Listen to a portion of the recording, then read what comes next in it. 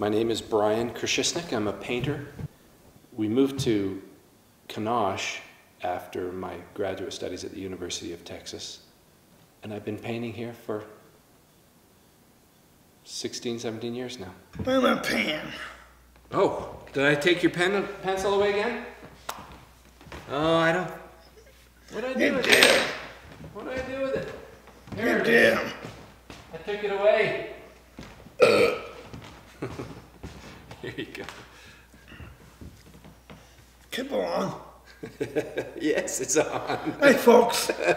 Some years after we were in Kanosh, I got a, a letter from, uh, from Sharon Gray, who was working at the Springville Museum, inviting me to participate in a show which was called Inclusions, and in which they were inviting artists to uh, collaborate with anyone from the special needs community. And, so I knew Joe Adams from church and around the community. And, and so uh, I asked, I called up John and Teresa and asked them, do you think Joe would want to paint?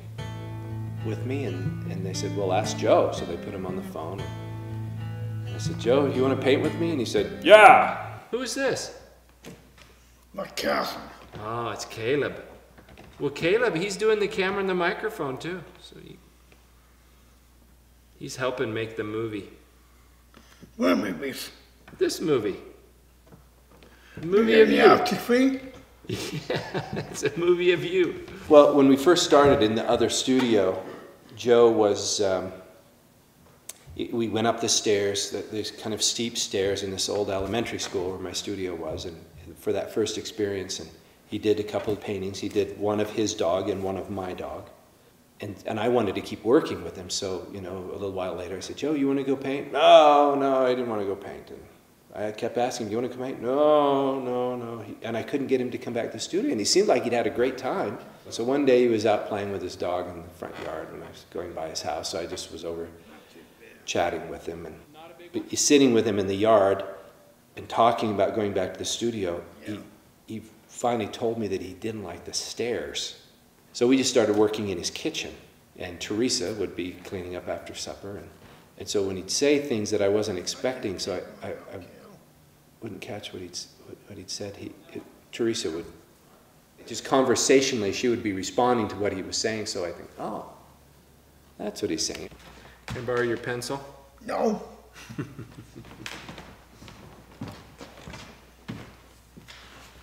I'll bring my own. Kitty. When Joe's feeling good and he's over here, I mean, it's it's a great. We have a great time. He's going to town. Some days he'll be over here for hours, just wants to keep drawing, and I'll have to take him home because I have other things I want to do. What? It says my cousin Caleb. Yeah. Boy, but he doesn't want to be here, it, he just sucks all the joy out of the whole room. they want you to talk a little bit. Will you tell him something? No. All right. But often, if he's feeling a little grumpy, we'll just go down the store and get him a liter of Coke, and it cheers him up. He's always so friendly. He walks through the front door and he has to tell everybody hi, and then he has to go get his Coke as if, if he's with Brian. They, they go back and get their Cokes. He really worries about if people aren't happy, and he's been worried that sometimes I'm not happy. So he always says, Sue, you look like you need a hug. Then he'll come and give me a hug and try to make me happy. Brian made me shy. You're shy? Yeah. Ah, we're all shy sometimes. Often, what he'll do is he'll do a drawing and call me over and, and say, What's that? And so uh, one time he did that, and you know, it was one of his people, kind of a big, smiling person, and I, you know, I didn't know what to say, so I said, I, I don't know, what, what is it, Joe? And he said, Maybe your wife, maybe God. And I, I thought that is such a great title. That is so smart. I could never think of that. Get this tag. He copies my paintings all the time, looks at the wall and copies what I do. And I pretty shamelessly borrow from him as well. Uh, Brian. What tended to happen is as he became more confident with paint, for example, then it, it became more about the activity of applying the paint than about the drawing. So he would do he would do these a beautiful drawing and then just completely bury it under India ink or paint or whatever was at hand. What I want you, uh, don't cover him up completely. Like sometimes you, know, you put him under the snow completely. And so um, the strongest part about what he does is just the drawing, the structure of his drawings. And so usually the way it works is he will do a drawing, and then I will, I will, then I'll come in with my part. I'll do some painting. What's this one? This one is Saint Dominic in Prayer. You want to do that one? Yeah, Cal. All right. But I've always been very influenced by the work of children, kind of a, a, a, a work that is one, on one level very sophisticated and on another level very innocent and very childlike. I, I was never really able to pull that off by myself, but working with Joe, that's just, that's where Joe is.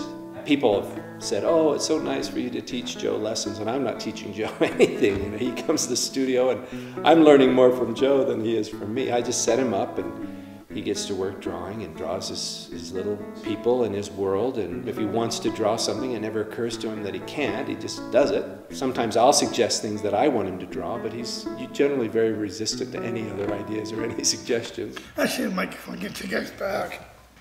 You want to draw the microphone? No. I'm shy by him. That's all right. We've, we've had shows in uh, Portland, Oregon, and Austin, Texas. We, we've talked to the gallery that I work with in uh, New York, and they're interested in doing a bit of a show there too. But mostly, it's that most of the interest has been in Salt Lake City.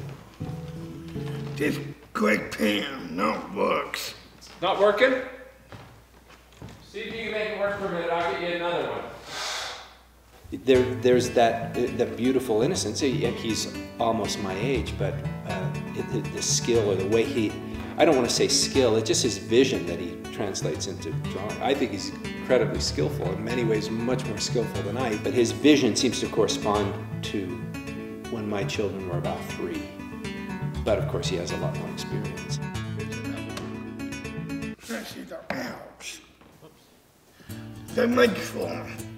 Get like my shirt. Yeah. The, Can't this. Yeah, they don't use the microphones that hook to your shirt. They use that one right there. Really? Yeah, it can pick you up that far away. It's pointed at you so they can hear you. Give me a hold. No, that, that, this kind of microphone, you don't want to hold it. Why not? Because then it would be too loud. It's called, I think it's called like a shotgun microphone. They point it at you like a gun.